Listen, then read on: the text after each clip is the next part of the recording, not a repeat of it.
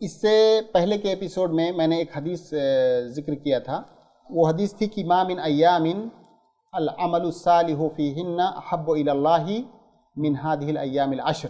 بعض دوسری روایتوں میں الفاظ یہ ہیں فَأَكْثِرُوا فِيهِنَّ مِنَ التَّحْلِيلِ وَالتَّحْمِيدِ وَالتَّصْبِيحِ اس کا مطلب یہ ہے کہ تو زیادہ سے زیادہ ان ایام میں تسبیح کرو، تحلیل کرو۔ تحلیل مطلب تسبیح مطلب سبحان اللہ پڑھنا؟ تسبیح مطلب سبحان اللہ پڑھنا. تحلیل مطلب لا الہ الا اللہ پڑھنا. تحمید مطلب الحمدللہ کہنا. یعنی زیادہ سے زیادہ ذکر و اذکار کرنا. تو ان دس ایام میں زیادہ سے زیادہ اللہ رب العالمین کے ذکر و اذکار کرنے ہیں۔ سبحان اللہ والحمدللہ سبحان اللہ والحمدللہ لا الہ الا اللہ۔ تو کچھ اعمال تو ایسے ہیں جو منصوص طریقے سے وارد ہو گئے ہیں کہ یہ اعمال کیے جائیں۔ جیسے کہ ابھی میں نے ذکر کیا تسبیح تحمید تحلیل۔ اسی طرح سے اللہ کے نبی صلی اللہ علیہ وسلم کی ازواج میں سے کسی نے روایت کیا ہے کہ کانا یسومو تسع ذی الحجہ و یوم عاشورہ و ثلاثت ایام من کل شہر کہ اللہ کے نبی صلی اللہ علیہ وسلم ذی الحجہ کے نو دن شروع کے نو ایام روزے رکھتے تھے۔ یوم عرفہ کا روزہ تو ہم نے ذکر کر ہی دیا جو نو ذی الحجہ کا روزہ۔ اس کے علاوہ جو آٹھ ایام ہوتے ہیں ان میں بھی اللہ کے نبی صلی اللہ علیہ وسلم روزہ رکھتے تھے۔ اور صحابہ کرام سے بھی ان ایام میں کثرت کے ساتھ روزہ رکھنا ثابت ہے۔ تو یہ دو طرح کے اعمال تو نس کے ساتھ وارد ہوئے ہیں باقاعدہ۔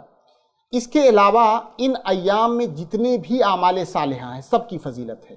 اس کی دلیل وہ حدیث ہے جس کا میں نے ابھی تھوڑی دیر پہلے عام طور پہ کہا گیا ما من ایام العمل الصالح۔ العمل الصالح مطلب نیک عمل عام نیک جنس عمل۔ اس میں الف لام جو ہے یہ جنس کے لیے ہے۔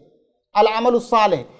عمل کے جنس سے کوئی بھی عمل ہو نیک عمل کوئی بھی عمل ہو ان ایام میں وہ افضل ہے قرآن پڑھنا زیادہ سے زیادہ ذکر و اذکار کرنا زیادہ سے زیادہ زیادہ سے زیادہ نوافل پڑھنا زیادہ سے زیادہ روزے ذکر کے بارے میں تو خصوصی طور پہ قرآن ذکر کی کے بارے میں خصوصی طور سے بھی وارد ہوا ہے تو جتنے بھی نیک اعمال ہیں ان ایام میں ہمیں اس بات کا حریص ہونا چاہیے کہ جتنے بھی نیک اعمال ہیں ہمارے عام طور پہ سے رمضان جب۔ شروع ہوتا ہے تو ایک رجحان بنتا ہوا لوگوں کا دکھتا ہے قرآن کی طرف۔ اور دوسری نیکیوں کی طرف۔ لیکن ذیلحجہ میں تو ایسا محسوس ہی نہیں ہوتا ہے کہ کوئی خصوصی اس کو اس اہمیت دی لیے جا رہی کہ بسا اوقات ہمیں کبھی کبھار تو اس کی فضیلت معلوم نہیں ہوتی ہے۔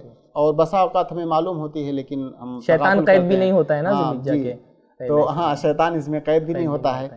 ہمیں ان ایام کی فضیلتوں کو سمجھنا چاہیے اور یہ بہت بڑا موقع ہے۔